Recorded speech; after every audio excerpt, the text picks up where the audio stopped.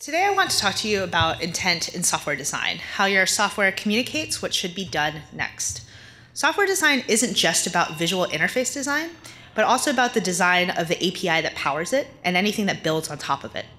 By deliberately declaring and communicating the intent of our software design, we can write better code, create better user experiences, and keep our users happy. Let's back up and think about what intent really means. We experience this constantly in the form of physical objects and often describe objects as being intuitive. Uh, so take this teapot, for example.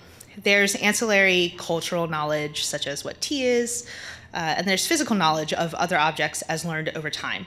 Thanks to that knowledge, which together can be referred to as natural mapping, the intent is clear. Your hand goes in the big loop, which you likely understand to be a handle based on context, and you tip for liquid to come out of the spout. This also allows us to appreciate expressions of the absurd, uh, like the coffee pot for masochists, uh, because we understand the intended use of a teapot, hot liquid coming out of a spout. So we can understand that the intent of this teapot is for you to hurt yourself. Uh, you may recognize this object as being on the cover of Don Norman's The Design of Everyday Things, which is something I highly recommend reading if you haven't, um, even if you think of yourself as mostly code oriented. These same ideas apply to our software. Users bring some existing knowledge when using our software, but it's rarely anywhere near comprehensive, and it's important to clearly indicate what they should be doing or will be doing. It's also important to know that this clarity, known as a good user experience, doesn't just mean what an end user might do with a given visual interface. It's also what a developer might do while interacting with the API. An API is, after all, also an interface, an application program interface.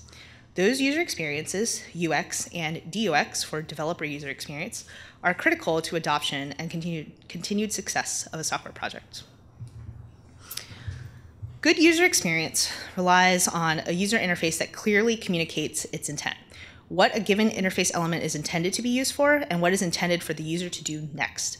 This ideal is what leads to the philosophy of decisions, not options. The challenge, though, comes when UI needs to change in order to be more intentional, especially through the removal of long-standing elements. So let's take a look at an example. We're going to ignore my thoughts about the existence of screen options in the first place, um, but its current implementation really falls short in a number of ways. Uh, some of these inputs, uh, in this case, the checkboxes for the columns to show on screen, uh, they apply immediately visually using JavaScript, and they save immediately over Ajax. But there's no feedback whatsoever that this is happening. Uh, there's no feedback that says this is saving right now and this has completed its save. Um, the number of items per page input, on the other hand, has to be submitted through a full page refresh in order to apply. Um, the apply button being in line with that input helps you understand that this apply button you know, is related to the input. Um, but there's another problem here there, that you can't see in the interface. There's a hook to add more options to give our developers flexibility, but it's below the per page option, which itself doesn't always show. In looking what, at what plugin authors do, we saw three main approaches. Their inputs also save over Ajax, uh, or they add their own submit button, or they just piggyback off of this now really poorly placed apply button if you can imagine more options showing up beneath it. None of that is good. By having this hook, we've said this is where we intend custom options to go, and we intend for you to build them if you need them. Uh, but then we don't provide any sort of structure for the right experience for the users.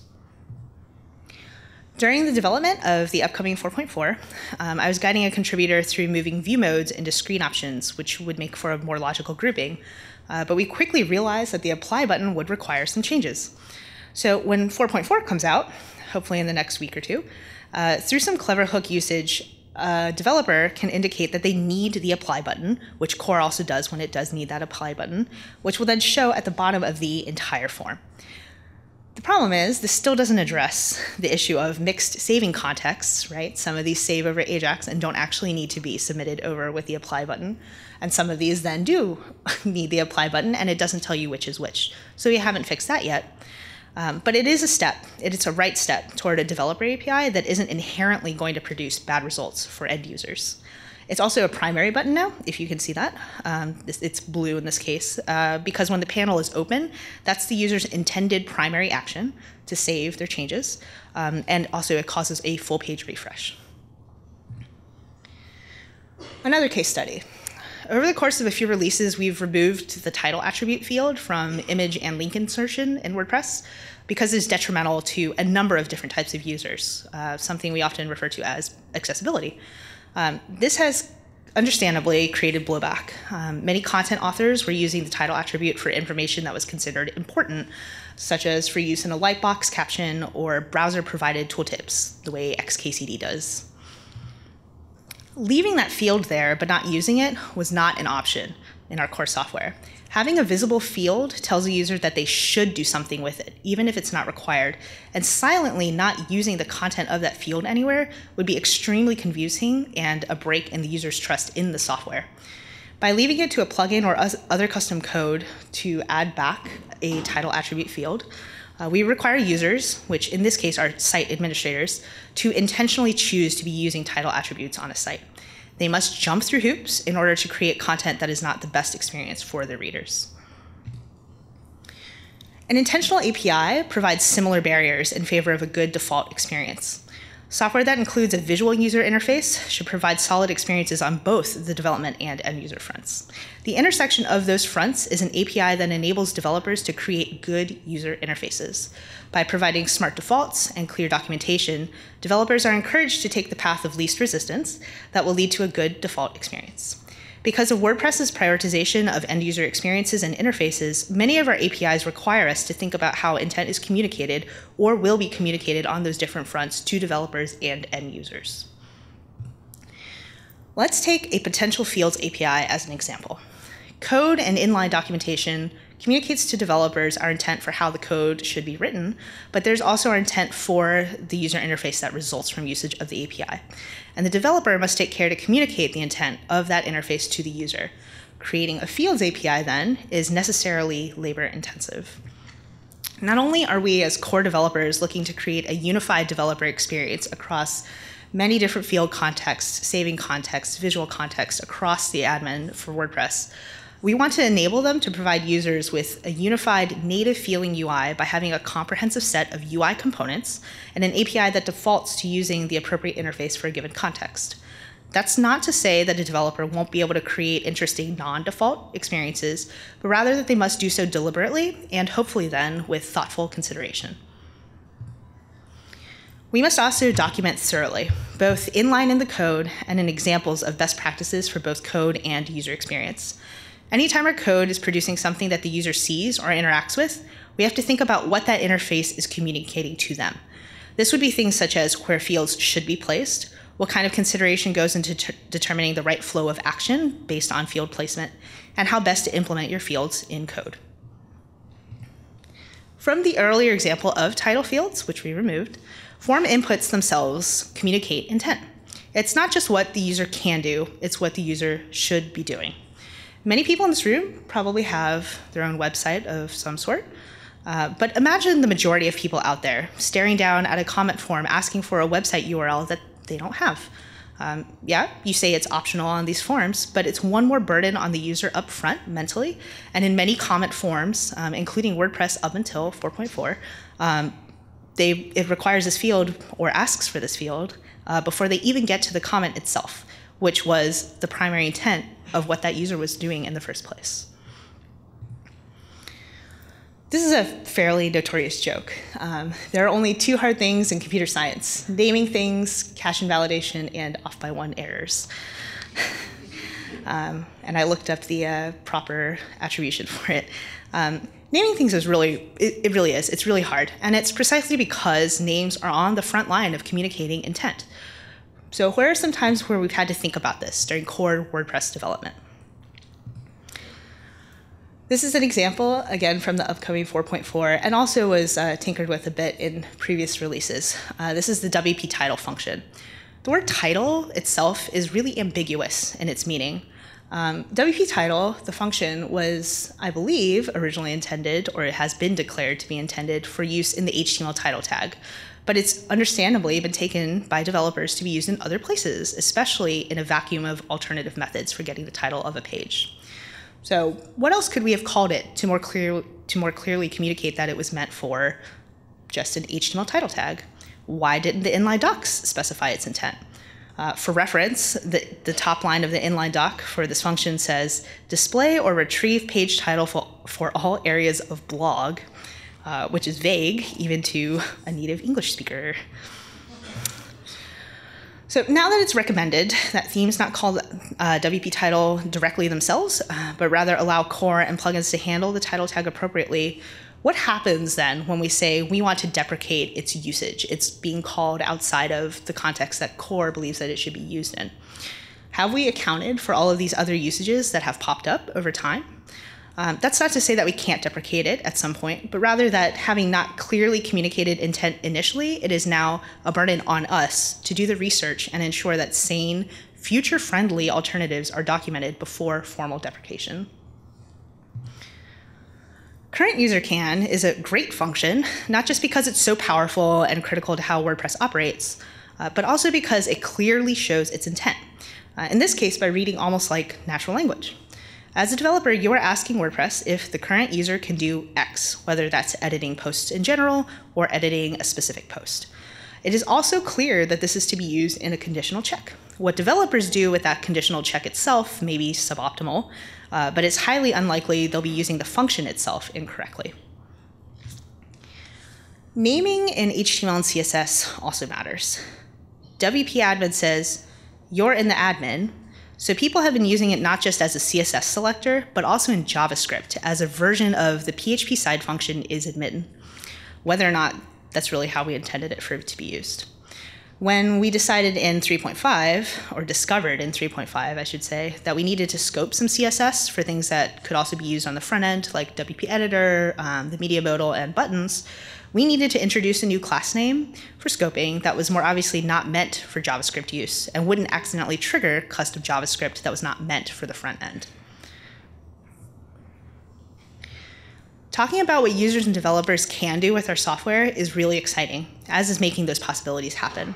But when your software is used widely and extensively, the intent of those possibilities is critical for the long term.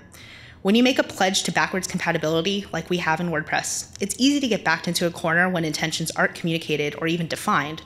The software is used and extended in ways it wasn't meant to be, and then often difficult accommodations must be made for those use cases or progress is otherwise inhibited.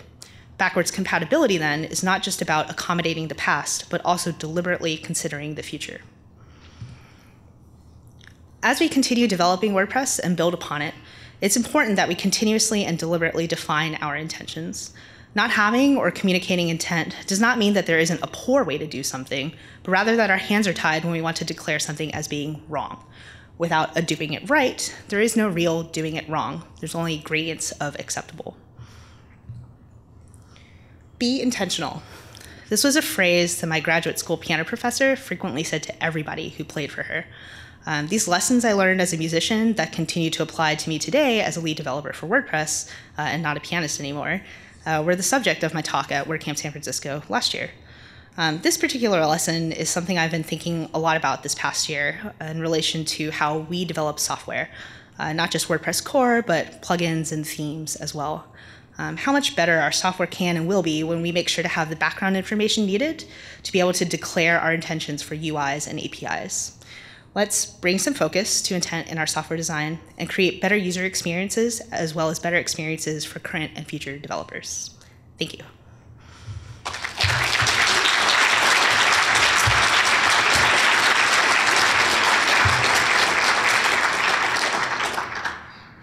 So there's plenty of time for questions, uh, which is more or less deliberate. Um, and you can ask about anything, I think, not just the contents of this talk. Hmm? There's a microphone in the middle, so you can walk up to it.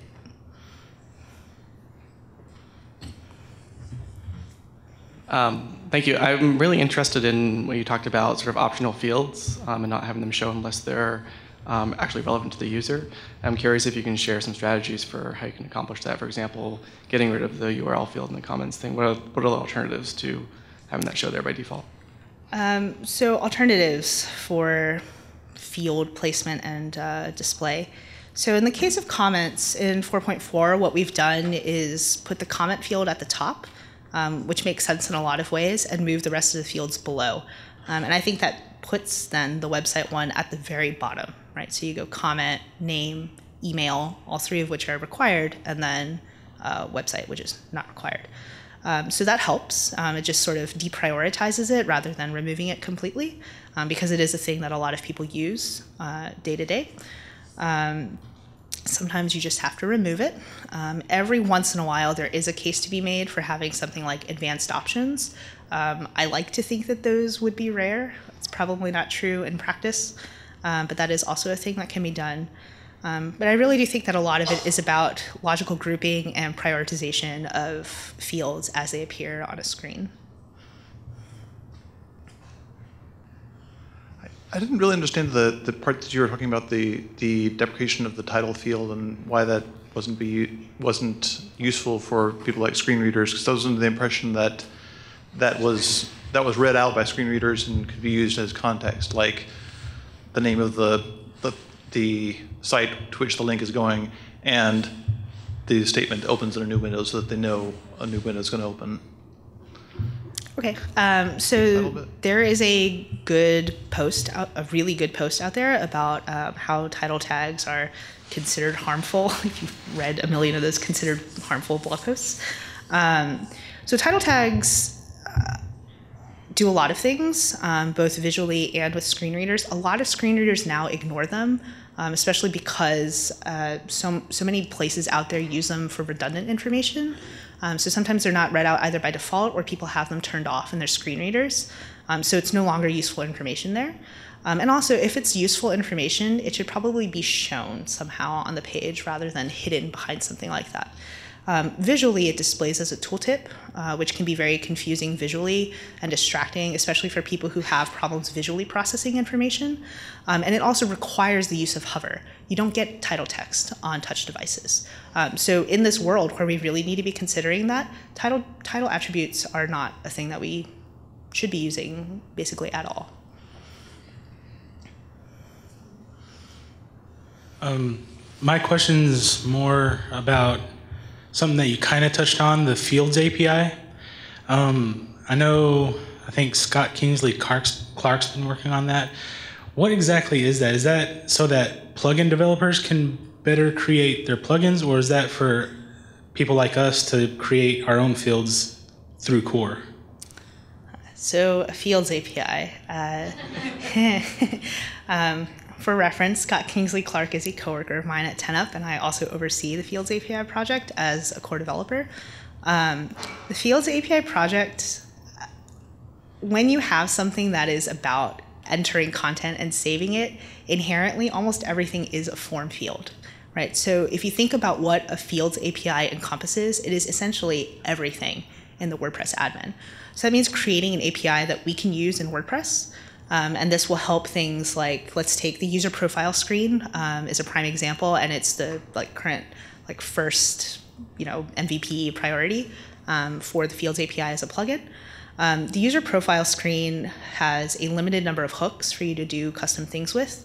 Um, sometimes you need to put something in a place that doesn't have a hook in order for it to logically make sense. Um, it's hard to remove things, like actually remove them, rather than just hiding them in CSS or punching in with JavaScript and removing them that way. Um, so something like a, a, unified fields API would provide also a unified interface for you to add or subtract custom things from a core interface. Um, and it also is something that you know metabox libraries can build upon i think it doesn't really replace them um, so much as provide them a unified base to build from um, and a huge part of this also is creating the UI components that go with it.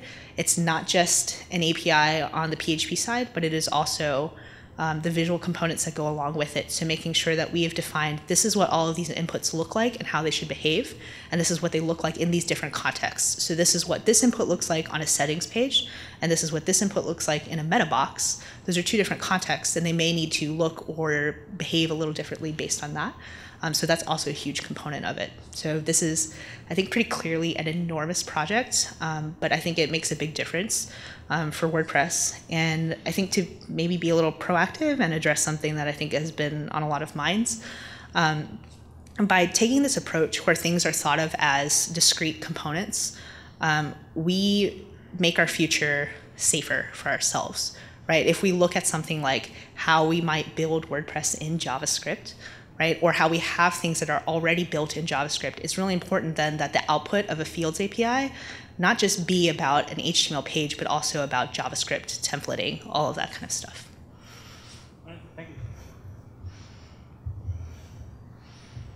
Don't worry, there won't be any stand up here. You had poked at uh, tooltips a bit. My particular question is about tooltips on settings pages, because there does come that time when you might have to describe a setting a bit. What are your thoughts on tooltips? Should they be used? And if so, what would you, it might be kind of a trick one, but what were your thoughts on the design of them so that it's not well, confusing to people, because that's what the whole point of this talk is, to make it as easy as possible for folks. Thank you. Yep, sure. So tooltips as help, I think, is is the uh, center of that question. Um, the the most generalized thought process is that if you need to provide extra inline help, there's something lacking in your interface to begin with.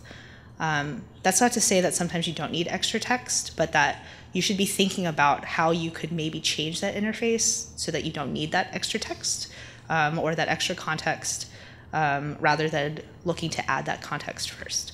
Um, I think that I personally prefer having things in line, right? So we have this in core where you have like a description class that you can add to like a span or a paragraph or whatever um, that can show like beneath or next to a field um, if you need clarification. Um, and there are other methods out there, but tooltips themselves are they're inherently hidden. Um, they require a user to break the flow of what they're doing to take a look at them. They can interfere with something like keyboard navigation, um, where it creates an extra stop that maybe is unnecessary for people. Um, and maybe isn't visually noticeable. So you're tabbing through a form and you're wondering, like, why can't I get to this next input? Um, and also, again, like on touch devices, is just a terrible experience, generally speaking. Um, so there's just a lot of things about that that you know are very tempting for us to do because it allows us to provide this extra context that you know users seem to need. But instead, I think we need to take it back to the point where we're thinking about why it is that they need that in the first place and what can we do to address that.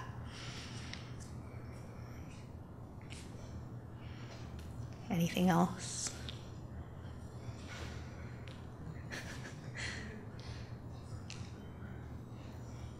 Alan. You and I have worked on a few projects together, and I really appreciated that because we, I'm a real backend developer, and that's what I kind of more familiar with. But you, we really communicate, communicated well together, and we really achieved the goals. Uh, could you give some basic advice, a top three maybe for designers and backend developers to better cooperate? Wow, that's like a talk in itself, I think, uh, intercooperation. Um, so for background, um, I don't think of myself as being a designer first. Um, I, I, definitely operate as one in a lot of ways, especially around interfaces and experience, um, not graphically or visually. Um, but I was a PHP and MySQL applications developer before I found WordPress. Um, so that was my past. and you know that because we've also worked on, you know, on unkind things in list tables.